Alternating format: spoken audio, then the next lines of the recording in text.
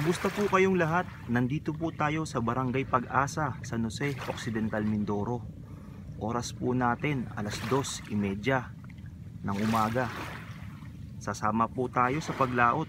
Titingnan natin kung paano ang paraan ng paghuli ng mga isda ng ating mga mangingisda dito sa Barangay Pag-asa. Tara!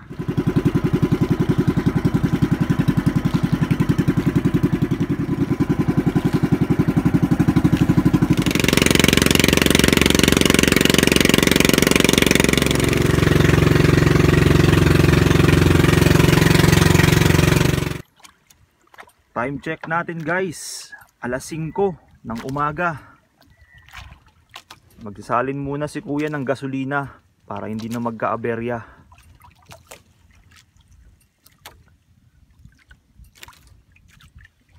Yan. Ang kung tawagin ay labay. Gagamitin ni kuya paghuli ng isda mamaya. Mga na kami ni Kuya. Ayun, kumikidlat pa. So time check natin 5:13 ng umaga. Umalis tayo kanina ng alas 2:30. 5:13. So, malayo-layo din talaga no.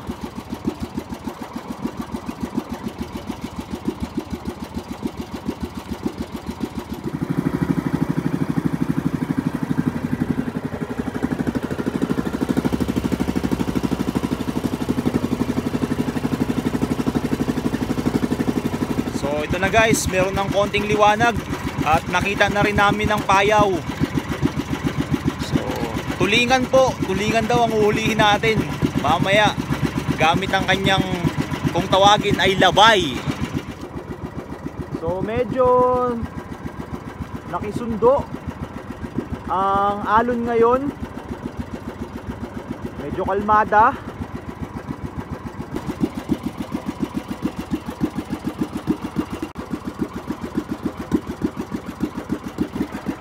Ito na guys. Ito na mga tulingan o aloy.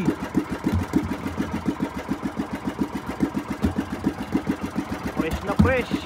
Sa mga may hilig magkilawin dyan. Yan.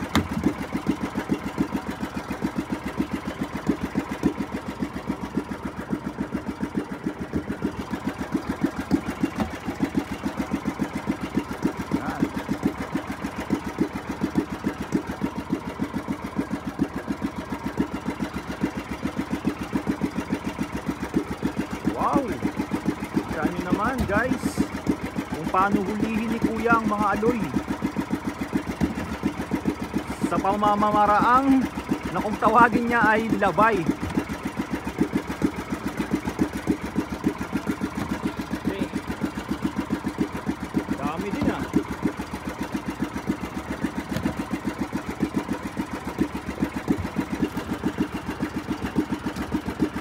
fish on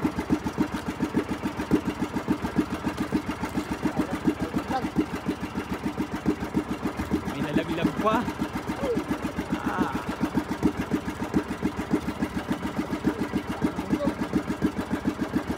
Wow naman talaga.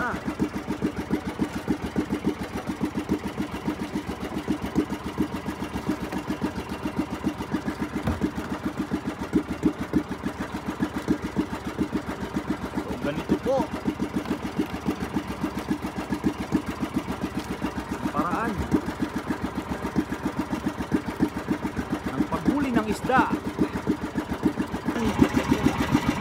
Tuloy-tuloy lang ang pag-arangkada ni Kuya sa paghuli ng tulingan. O, nakikita nyo ba yung dilim na yan? Huwag lang sanang pumunta rito sa amin dahil talaga namang basa kung basa ito.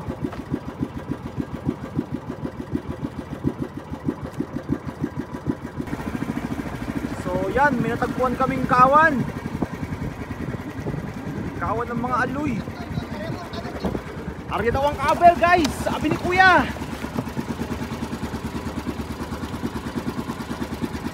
Grabe. Ayan. Buena si kuya ngayon.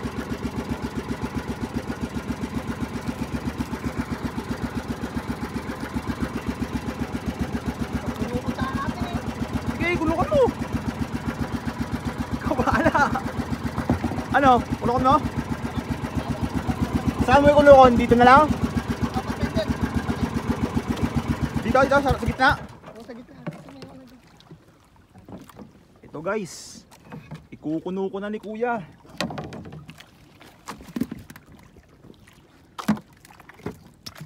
Wow naman yan.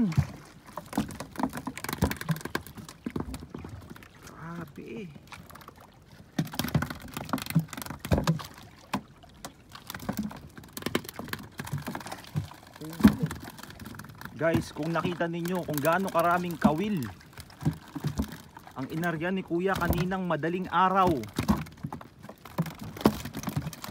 Talaga naman halos lahat yun ay merong isda. Ito. Sa mga mahihilig magkilawin dyan ha, inihaw, pinirito o kahit na anong luto.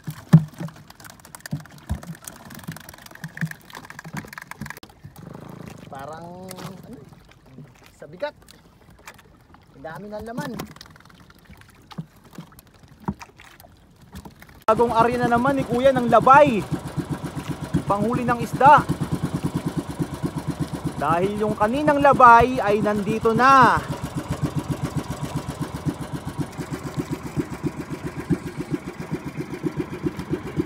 So ito na nga guys, meron ng medyo o konting pag-ambon. Sakong basa na ito. Ito na nga bang sinasabi, umulan na. Kahit maliwanag, ito lang yung araw.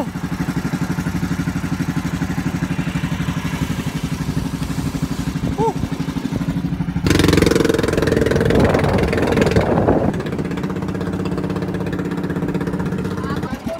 Wow! Kita niyo yan guys? Kumukulay pa oh. Ba, parang Christmas light. Aloy! Nakakainggan nyo talaga guys ang kung makikita nyo lang ang mga isda ngayon kung paano hulihin ni kuya. Ay, namatay. Ayan, Ano naman to? ni-start ni kuya yung makina, namatay. Pinahawak muna sa akin. Kuya, bilisan mo. okay na. Sana naman guys, fish on! So, nagkakaroon ng gulo guys. Gawa ng sa paghinto kanina ng makina. May gulo, namatay na naman ng makina. So, ayan, pinutol na na lang ni kuya yung labay niya. Dahil medyo magulo na yung pinakadulo. So, baka hindi na maganda yun o medyo lumamat na, nagkaroon na ng lamat. Pinutol ni kuya, nagulo-gulo na. So, ngayon, hahanguin o itali niya na lang yung isa.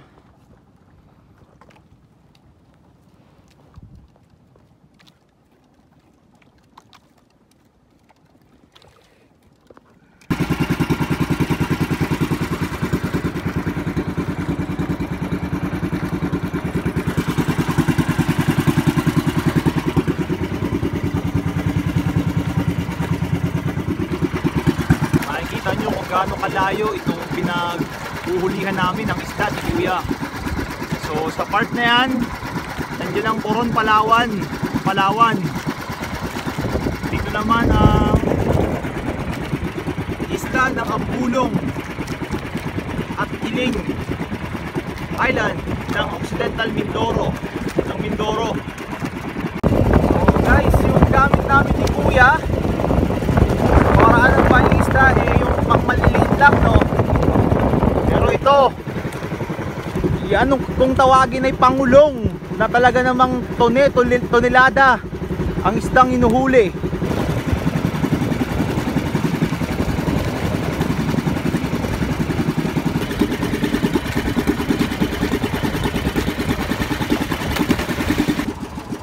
dagdagan pa. Nako, nako, lumalapit pa sa LSA. Huwag naman.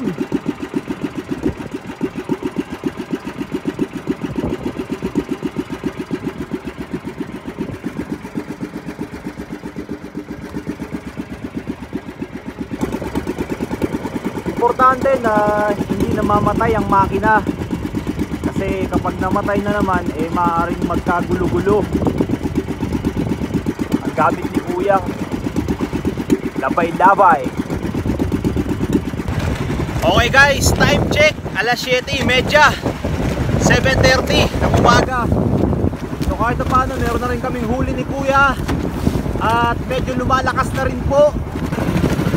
So yan po ang kabuuang huli namin. Puro tulingan po yan. Tulingan. Hindi natin alam siguro baka nasa 70 kilo or 80 kilogram to. 70 to 80 kilogram. Dami yan. Yan, time check po. 8.40 a.m. Pauwi na po kami. Hindi na po nagdagan ng aming nahuling isda pero okay lang. Maraming maraming salamat nga pala sa kasama ko. Ito si Kuya Rodel Abike Miranda aka Bitong. Ito po siya. Salamat Kuya. Nga. salamat. Salamat sa pagsama sa akin dito at kahit na paano pinahuli tayo. maraming maraming salamat po sa panonood at hanggang sa muling videos po. Maraming maraming salamat ulit. Mabuhay kayong lahat. Bye!